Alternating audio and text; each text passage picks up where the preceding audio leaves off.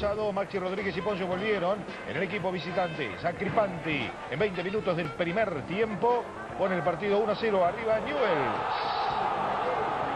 Aquí lo tenemos, tiene su buena cuota de fortuna Sacripanti en esta jugada.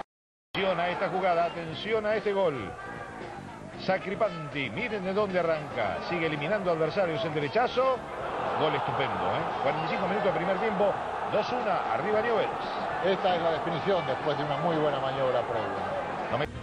Bueno, aquí lo tenemos. Sale la pelota jugada del arquero. Obsérvese este detalle, ¿no?